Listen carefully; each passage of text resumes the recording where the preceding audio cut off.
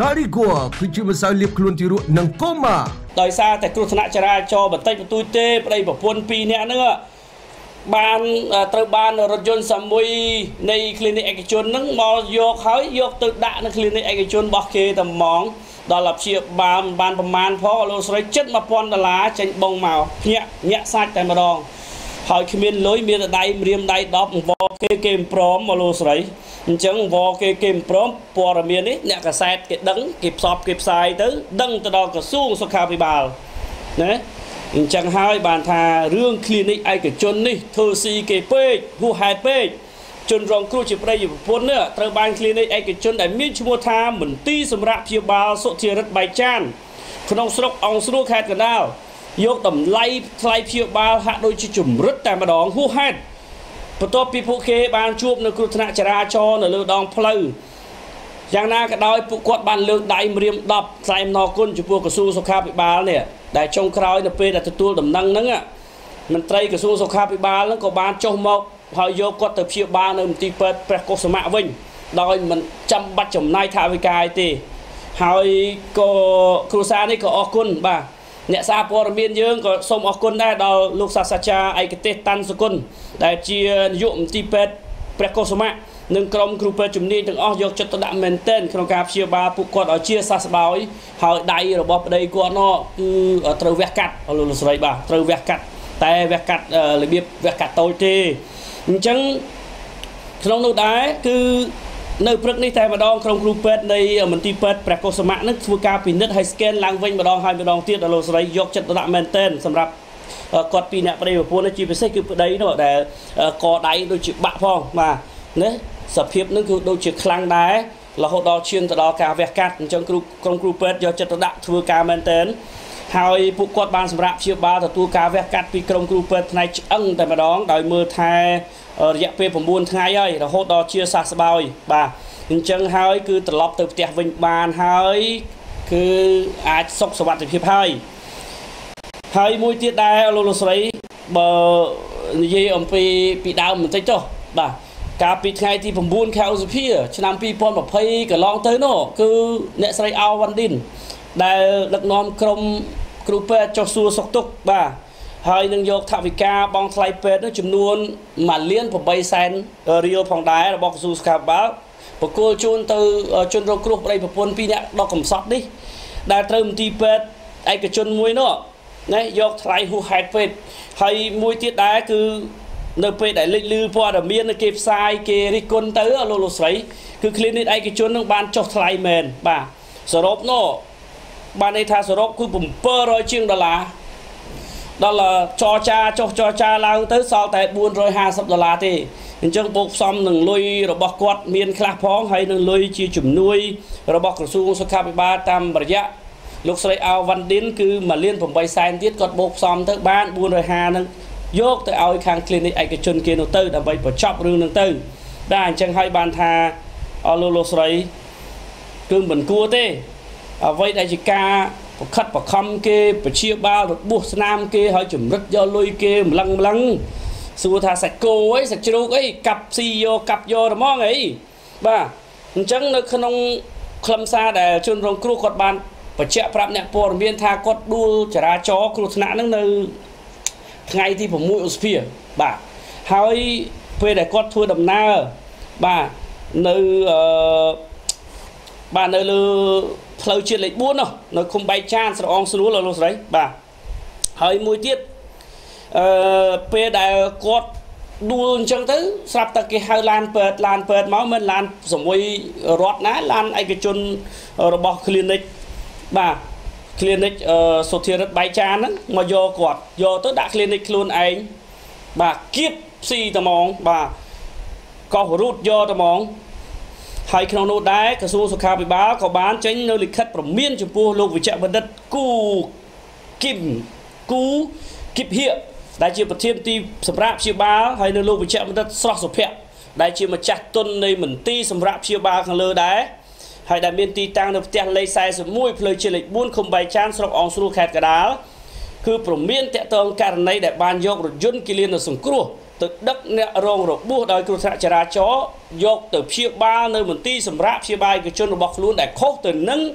សារាចរណែនាំរបស់ក្រសួងសុខាភិបាលហើយបើតាមក្រសួងសុខាភិបាលករណីដែលប្រធានមន្ត្រីសម្រាប់ព្យាបាលសុធារិតបៃចាននេះបំពេញសារាចរណែនាំរបស់ក្រសួងគឺបានកើតឡើងកាលពីថ្ងៃទី6ឧសភាកន្លងទៅហើយលើសពីនេះមន្ត្រីសម្រាប់ព្យាបាលយកថ្លៃលើសប្រកក្តីទៀតដែលមិនមែន ជាតារាងតម្លៃច្បាស់លាស់ដាក់នៅក្នុងមន្ទីរសម្រាប់ព្យាបាលទៅលើអតិថិជនឬអ្នកជំងឺឲ្យដឹងជាមុនតាមការណែនាំរបស់ក្រសួងសុខាភិបាលបាទដូច្នេះត្រូវថ្មោងរបស់ក្រសួងសុខាភិបាលហើយហើយបើមានរឿងអញ្ចឹងទៀតបាទសូមដកអាញាបានបាទបិទ clinic ចោលតែម្ដងទៅมันអាចបតែតបដោយឲ្យអស់លោកមកធ្វើអីតាមអំពើចិត្តទាំងទេគេគ្រោះថ្នាក់គេជួបទុកភ័យអាសន្នរបួសឈឺថ្កាត់ អស់លោកពេតពេតអើយបាទមួយចំនួនហ្នឹងខូចណាស់ជាពិសេស clinic ឯកជនអីហ្នឹងចេះតែកឹបកេងគ្នាគៀបគ្នាកោគ្នាក៏បើមិនដឹងជាស្អីសរោមដាក់មកកាផ្លោកពីរកាផ្លោកគិតជាលុយទៅ100 200ដុល្លារអីហើយអាសេរ៉ូមខ្លះនេះសេរ៉ូមប្រៃដែលគេទិញតែ5000លុយខ្មែរណាបាទ ហើយយកទៅដាក់ឲ្យគេ2 3កផ្លោកអីចឹងទៅយកគេរាប់រយដុល្លារអីចឹងទៅចាក់គេមកជុលពីជុលអីចឹងទៅចេះតែថាខ្លួនឯងគ្មានការកំណត់តម្លៃដាក់នៅក្នុងតារាងឲ្យបានច្បាស់លាស់នោះនៅកដាខៀននេះដែលគួរតែដាក់នេះមកជុលស្នាមអីជួសេរ៉ូមប្រភេទអីវះកាត់ល្មិចលាងលបួសប្រមិចបាទអញ្ចឹងគេមានតម្លៃបារ៉ែមរបស់គេច្បាស់លាស់ហើយអស់លោកចេះតែ នឹកឃើញខ្លួនឯងចេញវិក័យបាត់ចេញបងមកឲ្យគេនឹងសភ្នែកព្រាតតែហ្មងបាទគិតថាគេនឹងល្មិចនោះបាទសាច់គោឯសាច់កាប់ឯធ្វើជើអត់ត្រឹមត្រូវទេអស់លោកគ្រូគ្រូពេទ្យមួយចំនួននោះបាទហើយក្រុមគ្រូពេទ្យដែលគេល្អជានោះគឺថាគេស្រឡាញ់ណាបាទ ពីទឹកចិត្តមនុស្សធម៌សឹងថាបើមើលទៅឃើញរខិរខាក្រអត់មានអីហ្នឹងគឺថាមានតែឲ្យលុយថែមព្យាបាលជាហើយលុយថែមទៀតបាទនោះដូចជាបងវិជ្ជមនិតក្រោះសារ៉ាត់នៅប្រធានមន្ត្រីសុខាភិបាលសៀមរាបនោះបាទនិយាយពីថាប្រជាពលរដ្ឋនៅសៀមរាបនោះស្រឡាញ់ពេញចិត្តមែនតើហើយមន្ទីរពេទ្យ បងឯកខាងសៀមរាបអីនេះគឺស្អាតភ្លឹងតែម្ដង បាទតាមមណ្ឌលសុខភាពផ្សេងផ្សេងនេះគេហៅថាមានមេដឹកនាំល្អមានថ្នាក់ដឹកនាំល្អដែលយកចិត្តទៅដាក់ចំពោះអ្នកក្រីក្រព្យាបាលមិនយកលុយឲ្យឲ្យចែកអំណោយដូចជាទូចែកលោដល់ចែកអង្គចែកមីចែកត្រីខចែកមុងភួយទៅដល់អ្នកជំងឺទៀតនេះបានថាទឹកចិត្តគ្រូពេទ្យដែលល្អបរិសុទ្ធចេះយល់អំពីទុកលំបាករបស់បងប្អូនប្រជាពលរដ្ឋយើងបាទ អរគុណណាស់បងក្រុសសារ៉ាត់តែតែងតែឃើញនៅសកម្មភាពល្អល្អមែនទែនរបស់មន្ទីរពេទ្យក៏ដូចជាមន្ទីរសុខាភិបាលខេត្តសៀមរាបអញ្ចឹងគឺពេទ្យដែលគេគ្រូវិជ្ជាជីវៈក្រមសិលធម៌ជាគ្រូពេទ្យទៅគេគេល្អណាស់បាទល្អមែនទែនមិនគិតពីការនឿយហត់អីទេ គឺគិតថាធ្វើម៉េចឲ្យបងប្អូនដែលជាអ្នកជំងឺនឹងបានជាសះស្បើយឆាប់ត្រឡប់ទៅផ្ទះ ជួបជុំក្រុមគ្រួសារប្រកបរបរអាជីវកម្មវិញផ្សេងផ្សេងបាទមិនគិតអំពីលុយកាក់ទេហើយបងប្អូនបងបងអ្នកគ្រូលោកគ្រូពេទ្យមួយចំនួននោះគឺថាហុចលុយឲ្យនឹងមិនយកទៅទៀតបាទថាមិនបាច់ទេទុកទិញទៅដោះគោឲ្យកូនទុកទិញអឺនំចំណីឲ្យបងប្អូនហូបទៅបាទដោយសារអីគាត់គិតថាគាត់ជាមន្ត្រីរាជការដែលទទួលបាននៅប្រាក់បៀវត្សសំរុំពីរាជរដ្ឋាភិបាលកម្ពុជា ដែលគាត់ជាមន្ត្រីគាត់ត្រូវតែបំរើបងប្អូនប្រជាពលរដ្ឋបំរើរាជដោយស្មោះបាទមិនគិតអំពីអ្វីដែលគេហៅថាគិតតែពីលុយមុខលុយបាទអញ្ចឹងគាត់មានប្រាក់ខែហើយហើយប្រាក់បៀវត្សរបស់គាត់ក៏គាត់ដឹងដែរថាក៏បានពីប្រជាពលរដ្ឋយើងទាំងអស់គ្នានឹងដែរអញ្ចឹងគាត់បំពេញតួនាទីនឹងប៉ុន្តែគ្រូពេទ្យមួយចំនួននឹងខូចបាទខូចណាស់គិតតែពីរឿងលុយទៅហ្មងហើយបើគ្មានលុយទេទុកចោលក៏មានដែរ អត់ខ្វល់អត់ជាបាលទុកឲ្យដេកស្រែកយោយយោយយោយហ្នឹងទៅបាទប្រកាច់ប្រកិននៅលើអាក្រែស្នែងគេអាក្រែគេសែងហ្នឹងក្រែពេទ្យហ្នឹងអត់ខ្វល់ទេចុះឈឺឈឺតែដាក់លុយមកផ្លឹបញុកផ្លឹបមកខ្វិចបាទដាក់សរោមដាក់ចាក់ថ្នាំអីអូមកកំ pl េចឹងហើយបានពេទ្យពេលខ្លះគេថាឈឺបងហ្មងទៅពេទ្យឯកជន តែអាទៅពេទ្យឯកជនប៉ះចោលអាពេទ្យឯកជនដូចជាពេទ្យ សុធារិតបាយចានអីហ្នឹងផុងខ្លួនទៀតហើយតែពេទ្យឯកជនខ្លះគេល្អគេមានក្រឹកក្រមរបស់គេតម្លៃសមរម្យរបស់គេហើយប្រសិទ្ធភាពក្នុងការព្យាបាលជំងឺជួយទកាត់របស់អតិថិជនរបស់គេដោយយកចិត្តទុកដាក់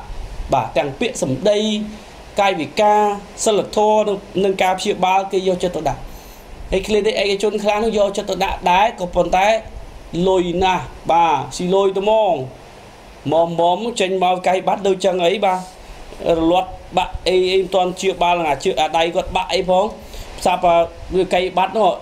បើកៃបាត់តែចេញមក700ជាងនោះលោកស្រីដឹងសរសេរមិនទេថាពីអ្នកប្រិយប្រពន្ធនឹងបាក់ដៃហើយនឹងបាក់ជើងហីបាទអញ្ចឹងតម្លៃព្យាបាលនោះសរុបនោះ710ដុល្លារបាទហើយបខំឲ្យពីអ្នកប្រិយប្រពន្ធនោះបង់លុយភ្លាមហើយបើអត់តន់បង់លុយអត់មានលុយទេនេះឲ្យទុកម៉ូតូកាក់ម៉ូតូគាត់ដែលផ្ញើនេះ នឹង clinic ហ្នឹងទុកត្មងបាទហើយចាំយកលុយមកឲ្យគ្រប់សិនណាចាំយកម៉ូតូនោះទៅវិញយេមិនធម្មតាទេបាទគ្មានទេសក្តីអាណិតអាសូរគ្មានសោះអីបេះដូងសង្គ្រោះបេះដូងជួយគ្នានោះបាទ